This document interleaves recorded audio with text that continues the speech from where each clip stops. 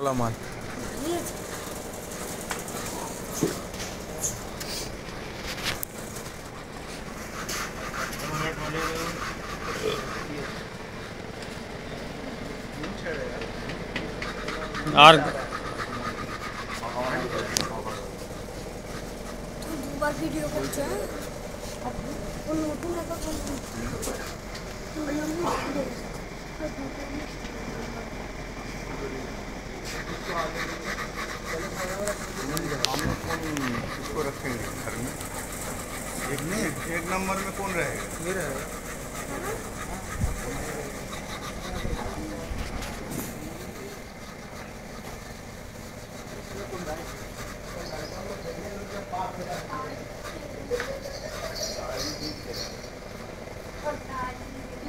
रहेगा